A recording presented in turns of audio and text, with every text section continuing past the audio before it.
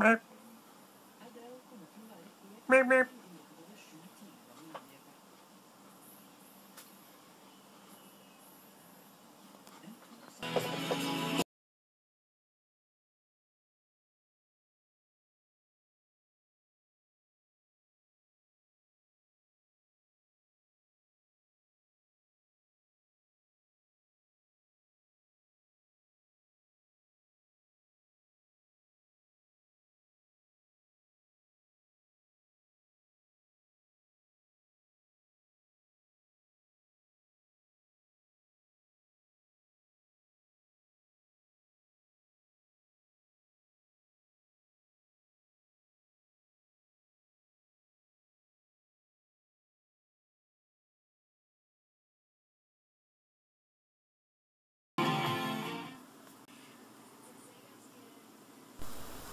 Welcome back.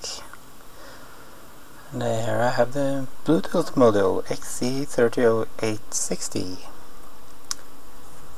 XC3860. So this module, this is for streaming Bluetooth and uh, you can hook up to a uh, amplifier and that was what I was thinking about doing with my uh, Tivoli audio the table radio that we found in the dumpster. So here you can see the schematics. That was a, big task for this because this is Chinese model and uh, yeah, it wasn't so easy to get the schematics for this model. So, but uh, on the EEVblog we find uh, you can find a discussion there, and there's a schematic. So uh, and here you can see my setup. It's a uh, I used a microscope because uh, the, the soldering job uh, was much was much harder than I initially thought because uh, well um, yeah, the pitch was much higher and uh, or narrower though so. But I think I managed and uh, you can also get uh, boards that you can solder this out. So you can get spread out those um, connections. So it's easier to work with it. And um, yeah.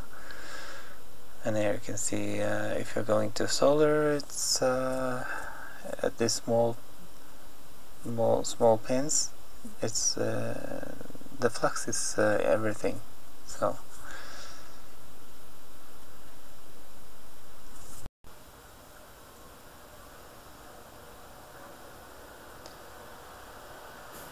it took me quite a long time to do this. Uh, it was much uh, very unexpected because I was pretty sure that uh, this board was a large board. So, but when I got it home, it was so small.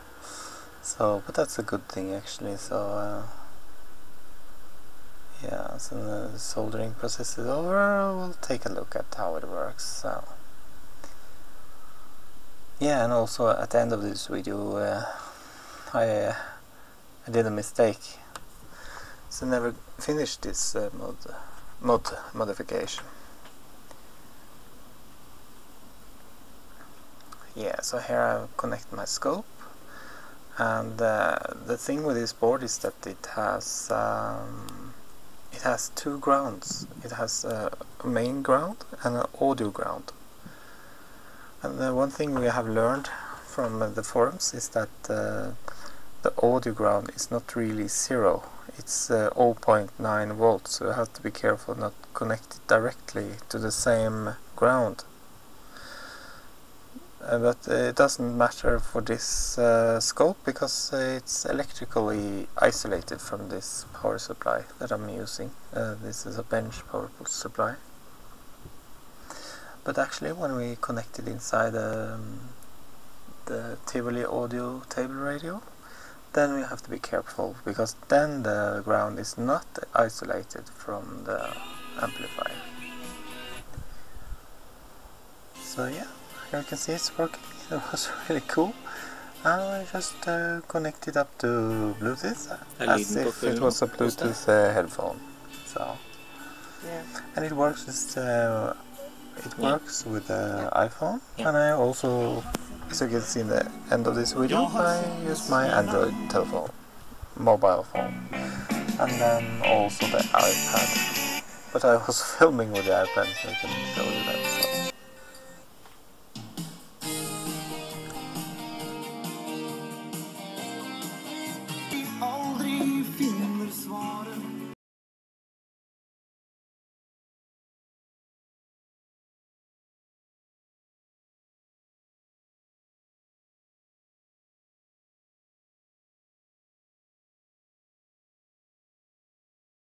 So.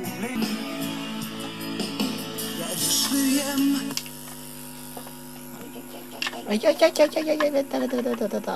the ground. And that's also another thing I learned about this circuit is that um, well let me put it in another words. When I read the forum at the EEVblog about this thread, about this module, um, there was some concern about noise. And there as you can see in the picture do you see that? It was a um, a sticky tape behind the antenna the Bluetooth antenna and then a foil. And the foil isn't connected to anything but sort of it is if you think about it because Bluetooth is like uh, what is it? Um, Bluetooth signals they are high frequency and therefore um, Therefore, uh, when you are talking about high frequencies, then uh, things change. Then uh, shapes and distances becomes components in itself. So the shield, even though it's not physically connected, it is sort of connected to the ground plane because it's so close to the ground plane. So as you can see here, and. Uh, the other thing I was going to mention there, you see the resistor there on the top? Sort of made an antenna there by mistake. Uh, it's just for testing, but uh, it picked up a lot of noise from the Bluetooth antenna, the shield is working. And um, what the story behind the resistor though is uh, when you press pause on uh, the iPhone or the iPad or or or the Android though the device goes, uh, the Bluetooth chip, the decoder, it goes into sleep or pause, and then it sounds like um, it sounds like it's going going um, high impedance. So you get a buzzing sound in the amplifier, as if uh, connections were disrupted. So what I did there, I uh, connected a 2K2 ohm resistor, and not too little and not too much.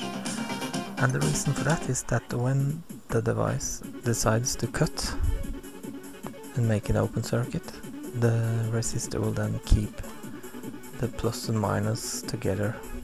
So, and I also put it uh, on the other side of the um, capacitors there but then I got a high pass filter, so then I lost all the bass. So that was a bad idea. So yeah.